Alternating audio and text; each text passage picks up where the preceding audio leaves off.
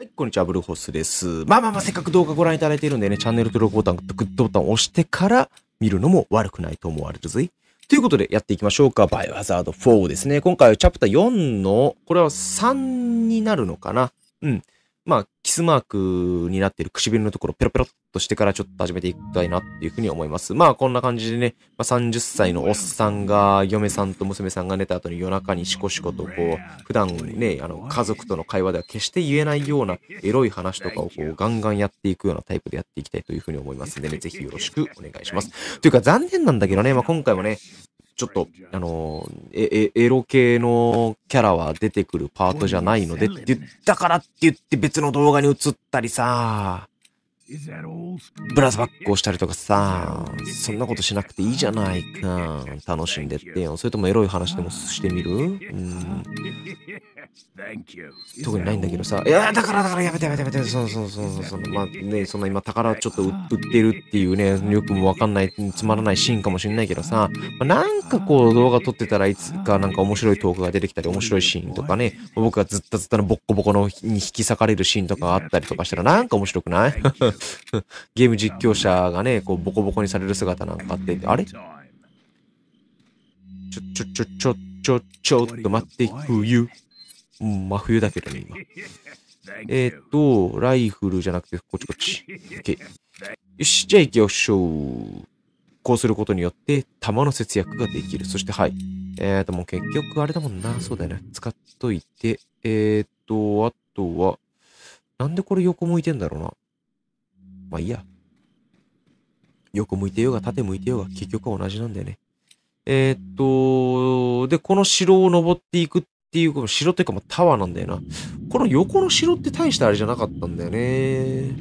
よくよく考えたらつく、なんでその城作ったのっていうくらいの中の構造になってたもんね。まあ実はそのレオンが行くところ以外にちゃんとしたなんかし仕掛けがあったのかも、仕掛けというか居住区域があるのかもしれないけどね。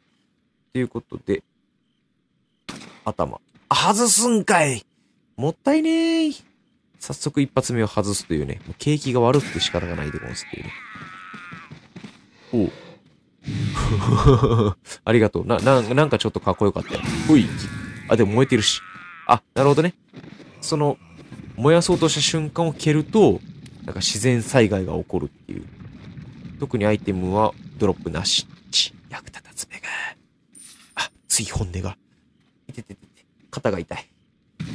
そうなんですよ。あの、最近ね、ちょっとね、時短筋トレをしたいっていうか、あの、どれだけその1セット1セットで鍛えたい部位を追い込み殺して自分のことをいじめられるかっていう実験をしてて、全身法っていうのをちょっとやってみたりしてるんですよ。それかまあ自重でやる日もあれば、その、各その部位の持てるマックスに近い重さで、まあ、10、10まあ、おマックスの重さっていうのも変だな。だから15回くらい、15回から20回くらいでできる、で、限界が来る重さに調整したやり方で、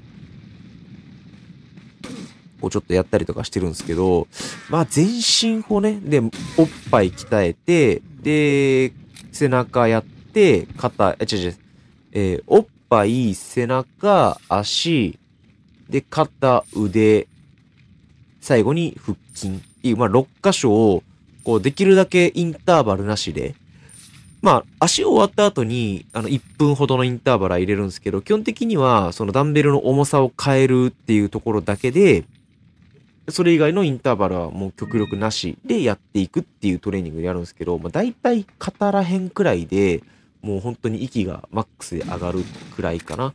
まあ胸だったらダンベルフライとか、ダンベルプレスとかやって、で、背中だったら、まあ、あの、ベントオーバーローとか、あの、まあ、えっ、と、なんだったっけあ、名前忘れた。えっ、と、シーデッドローみたいなやつ、えっと、ダンベルロー、ローイングか。うん、とかやったりとか。で、足は、あの、両肩にそのダンベルを乗せて、で、そのままスクワットやったりとか、あるいは、まあ、レッグランジかやったりとかっていう感じかな。で、肩に関しては、サイドレイズかアーノルドプレスか、まあ、日によっては、えーっと、あ、後ろ、後ろなんだったっけ？あれ、何レイズだったっけ？忘れてた。まあ、フロントレイズとバックレイズ。バックレイズじゃないんだよな。なんだったっけな？でもそれって背中の後ろ、背中も鍛えることになっちゃうから、な背中系種目ダブらないようにっていうのはちょっと極力意識したいところだけどね。まあ、鍛え方が足りんかったりやったりとかするけど。で、あとは、言ってないんかい。あとは、で、腕が、えー、っとね、普通にダンベルカールか、まあ、もしくは、いや、入ってきちゃった。もしくは、まあ、えっと、なんかハンマーカールをやるからね。で、まあ、日に、まあ、2セット目に後ろの、えー、まあ、3頭を鍛えるやつをやったりとかね、オーバーヘッドや系やったりとかやったりするけど。で、腹筋は、腹筋でダンベル使うのってちょっと難しいのでやらずに、まあ、普通にクランチやったりとか、足上げ腹筋やったりとか、まあ、その日によって、まあ、ちょっと腹筋だけ回数多め、その代わりゆっくりゆっくり丁寧にやるっていうのを、まあ、全身法やったりしてるんですけどね。全身法でやると、まあ、どちらかというと、まあ、筋トレで、こう、鍛え上げられる、磨き上げられるっていうよりは、まあ、脂肪燃焼効果もあったりする。どっちかというと有酸素っぽくなっちゃうから、体をそれででかくしたいっていう人に関しては、もちろんその筋トレ初心者にはおすすめする、できるかもしれないけど、そのやってないよりやった方が体がでかくなるから、でも、ある一定の、うん、まあ、体をお持ちの方については、体でっかくしたいとかっていうのが主たる目的だったとすると、まあ、全身固定でやっぱり部位によって鍛える箇所を変え、あれは部位、部位、部位でやっていく方がいいかなっていうふうには思うけどね。その毎、毎回やってるわけじゃないけどね、その全身の筋肉痛がちょっと取れたかなっていうタイミングくらいで、まあ、週に1回か2回かを、うん、まあ、全身法でやったりとかするけどね。だから本来はその胸だけやったりとか、足だけやったりとか、みたいな感じで、こうやったりとかしてるけど、めっちゃ近づいてきたら、あ、ぶれ危ね危ねそんな壁越しにそんな攻撃してくるなんてそんな卑怯なことしちゃダメよ。まあ、ね、絶対攻撃してこれない場所からやってる俺が人のこと言えないんだけどさ。まあ奴らは人じゃないからいいか。そう、っていうのがあるんでね。まあ何にせよさ、こう、年に1回とか半年に1回とか、お、お、OB 会があるわけなんですよ、バスケで。まあ、今年の1月にも行ってきたけどさ、先月さ。やっぱり、あの、その、お、お、現役生の前で格好つけたいとかそういうのじゃなくて、なんかやっぱ現役生相手にさ、ガチのバスケできる機会なんていうのがないからさ、やっぱりどうせやるならなんかこう、おっさん同士のゆるゆるのバスケやるよりは、片方がこう、本気で真剣にやってくれるっていうのを、こう、目の当たりにしつつ、で、そ、そで、その子たちを、まあちょっと、ね、あの、年寄り風吹かせながら、あの、まあ自分たちのが実は上なんだぜっていうね、こうちょっと、うん。そういうのがね、あの、わかるよ。現役の時ね、本当に OB 会嫌だったもん。なんか、OB 上手いんだもんだって。まあ、その、今の僕が上手いっていうわけじゃなくって、と当時の OB たちって結構ね、大学生でもがガッチガチにやってる人たちが多くて、まあ、僕は大学でガッチガチに残念ながらやる機会はなかったんですけどね。うん、高校、あの、出身高校の女の子のバスケを教える立場になっちゃったから、まあ、あとはあの、その、サークルにも入ろうかなとかって思ったけど、まあ、い、った、入ったサークルが思いのほかレベルが低くって、あ、この、ここでやるのは、やるくらいだったらちょっと教える側で真剣にやった方がいいかもしれないと思ったから、結局、やらなかったっていう、まあちょっとした言い訳なんだけど、まあ、出身大学のね、あのー、バスケはさすがにレベルが高かったんで、こう、ちょっとコーチとプレイヤーを一緒にやるっていうことはできなかったから、うん、あれだったけど、ね。まあまあまあまあまあ、そんなこともありつつで、はい。と、届かない。意外意外と、意外とレオンの腕が、の短さをなんか感じるよね。それとも俺の距離感がないだけ？人間の出て普通こんなもん？まあ、レオンくらいのね、こう、スタイルが結構憧れだったりするよね。で、上のね、こう燃えたり、銃がバコバコバコバコ撃たれたりとかしているさ、その、騒がしい、なんかこいつは何もせずにこの下でね、墓守りをしてたわけですよ。ありがとうね。君がいるおかげで、他の人たちは、応援もなく、そのまま朽ちていったのさ。拾う思考のロット。裏は特に何もないね。相手も特に落とすこともなくと。じゃあ、このまま向かっていきましょうか。えーと、どうしようかな。あ、そっか。すまん。もう一体いたわ。重要な人物。そいつをぶち殺さないことには次に進めないね。まあ、別に無視してもいいんだけどね。まあ、なんとなく、お邪魔します。ダイナミック入店。おら。おら。あ、外した。くそ。もったいない。ほい。ほい。ほい。もうい。まあ、いっか。ほい。あー、くそ。よしよしよしよし。ほいほいほいほいほい。オッケー。ふ。長距離戦は銃の方が速い。覚えておけ。当たり前だ。で、もう一個先に進むと、確か、そっか、虫、虫系か何かがいるんだったっけな。あれ、それ、先だったっけ？後だったっけ？どっちだったっけ？なんかあの、ササラザール系が好きな仕掛け、あの天井から針が落ちてくるっていう仕掛けが、確か、この先だったっけ？この前だっじゃ、え、トロックが終わったんだっけ？先だったっけ？ちょっと忘れたけど、なんか確かあった気がするんだよね。で、飛び出します。やばい、めっちゃ鼻詰まってるわ。ちょっと、ちょっとしばらく移動なんで、ごめんなさい。ちょっと、ちょっと失礼。復活。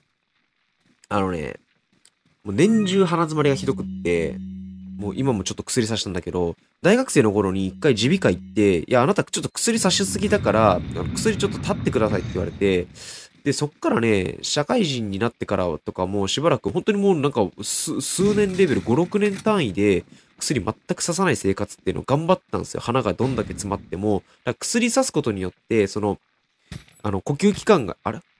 あ、これ、これ落ちてきてからじゃない？とダメなんだ。知らんかった。そう。呼吸器官じゃないや。あの、鼻が、その縮まっちゃうんだって血管が収縮してよりその詰まる原因になっちゃうから本当はあの薬さすのはあんまりやらないでくださいみたいなこと言われたんですよだけどあまりにももう年中鼻詰まりするしであの薬立ってもう5年6年も経ったにもかかわらず結局何も変わらないくらいだったらもう別にさしていいんじゃねって思ってうんからもう元々がその鼻が詰まっちゃうようななんだろう性格って、性格じゃないか、体質なんだろうなって思ったら、もうその月間就職して、その1日2回3回刺さなきゃいけないような状況になったとしても、もう別に構わねえわと思って、最近もう30歳になってからそれは諦めました。うん。特にここら辺落とせるような宝石があるわけじゃないんでね。OK。で、ブルー取って、こっちは何がある？パンタマね。OK。そうそうそう。だから人間どこかしら何、ね、不調とかあるんですよね。どっか痛いとかさ、なんなんかその体が重いだ、だるいだとかっていうのはね。そういうのがこう全くない状態、完璧な状態ができる、上がるのって、その当然その生まれ持ったものとかもあるけど、なんだかんだやっぱりこう、健康であるかどうか、えっと、そのメ、メンタル的な健康であるかどうかっていうのがすごい大事なんだなっていうのは思うよね。よし。じゃあ、早速ですが、インディン・ジョーンズごっこやっていきましょうか。出発。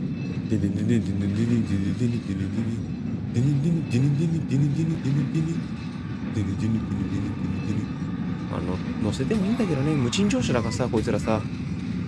これ乗るためにはやっぱ、あの、一人1ハーブ持っとかないといけないからさ。でもこいつら出さないじゃん。まあ、つまり無賃無賃乗車じゃん。ダメじゃん。乗ってこうとするじゃん。めっちゃ飛んできたわ。ほいほいほいほいほい。あ、ほら、ダメだって。レオンと一緒に乗りたかったらね、ちゃんとね、パーツかもしくはね、ハーブ持ってかないとなんですよ。まあ、別に、ハンドガンの弾でもいいけど。ほい。あぶれいあれ？これ、い、板な、板出てこないの？板が出てきてくれてすごい、ああ、オッケーオッケーオッケー。あ、来た来た来た来た。あぶれ。カキン。ゴーチふん。甘いわ。オッケーオッケー。さて、ここで、あー、落としてきちゃったね、落ちてきちゃったね。奴らが落とせたらすごく楽だったんだろう、キック。楽だったんだろうけど、キック。ほい、ほい。ここで発狂されないように気をつけたいけど、あー、オッケーオッケーオッケー、発狂されるけど、ちょっと待って、思ったほど、思ったより近い。やばいちょっと待って、おー、傷マジかあ、ナイフ程度じゃ頭攻撃してもひるまねえざんすか。うわー、やっちまった。もったいないというか、恥ずかしいというか、クソというか、ヘトヘタクソというか、バーカって感じだね。やっちまったなやっちまった、やっちまったの。かっぱ寿司。かっぱ寿司もやっちまったな。いやー、恥ずかしいなくっそー。すいません。もう、なんか、え、お前そこで死ぬのかよっていうパターンが多すぎるよね。くそー。まあまあまあまあまあまあまあまあまあ。まあそうそうは言ってもね。うん。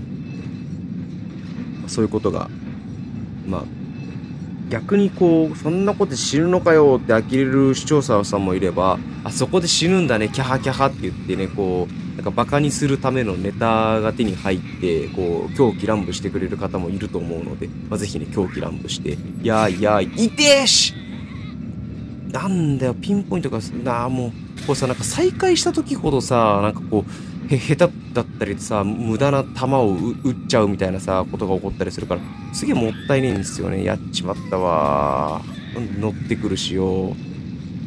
おめえはもう、あれだよ、板でバコってなるまで、こう、ちょっと、楽しんでもらおう。ほい、あだい痛いのはやつなんだけどね。ほいほいほい。そうそうそうそう、カコン。さあ。甘いわ。よし。ありがとう、代わりに。これって、あ、なんで？チェーンソー倒せんのかよ。落とせたわ、普通に。ほい、ほい。ケリコン。あれ、どっか飛んでった？大丈夫？もう、もうこいつらもう危ないから先に始末しておく。ほら、飛んでけ。あ、いや、一撃だった。ごちそうさまです。うーん。そうなんだよね。いやー、マジでマジで大変だわ。大変だわ、本当に。ほい。で、ああ、また無賃乗車野郎が来てる。そんな君には、これをプレゼントしよう。接近戦ではナイフの方が早い。覚えておけ。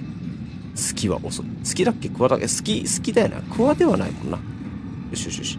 またもう一体乗ってきてるわ。ああと思ったけど落ちたわ。さよなら。うわー出た。双子ちゃんか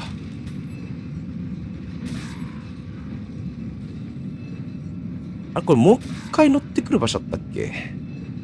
だからかわいそうだよね。こう一一発一発、なんかこう、じわじわじわじわ撃たれていくっていうのがね。まあまあまあまあ。よいしょ。踏んで後ろ振り返って。大丈夫。オッケーオッケー。よっしゃー。じゃあ、ラストこいつら、ぶちのめして、ああ、もう近い。そんな君たちに、プレゼントこういう、なんか今めっちゃ、標準が出てきたけど大丈夫だったかなで、こいつらとはもう最後まで一緒に乗車していきたいと思いますんで、こっから撃ったらね、すごいもったいないですよ。た弾のあれが激しいからね。それ、それを目で終えるレオンもレオンですげえな。オッケーオッケー。じゃあ、こいつらとは最後に進駐していこう。と前回、バイオ4をやった時はね、ここでね、連打が足りなくて死んだからね、今回はもう初めから準備してますよ。右手で、くさ、あ、ちょちょちょちょ、ちょっと待って、ちょっと待って、左、左上、左。もう、半、キャプスロックを押すとなぜかこれが出てきちゃうんですよ。ああ、恥ずかしい。治ったね。オッケーオッケー。今のは皆さんなんか見えたけどなんか見えなかったことにしといてください。あの、いいかにその連打ボタンを押してたかっていうのが多分わ、分かったと思うけど。まあまあまあまあまあまあ。いやー、恥ずかしかった。恥ずかしかったというか、まあ、なんとかなった。オッケーオッケー。よし。いやー、まさかのちょっと、切り刻まれると、ここのチェーンソーにやられるとは思ってなかったね。まあそんなところも、あの、なんか、可愛い実況者だねって思っていただける方は、ぜひね、チャンネル登録ボタンでグッドボタンを押していただけたら嬉しいです。じゃあこれはめてね、チャプタークリアしたところで終わりにしたいと思います。うん。次回は多分、多分奴を倒しに行く旅になると思います。ということで、最後まで動画ご視聴いただきまして、どうもありがとうございました。また次回パートでお会いいたしましょう。お疲れ様でした。さよなら。バイバイ。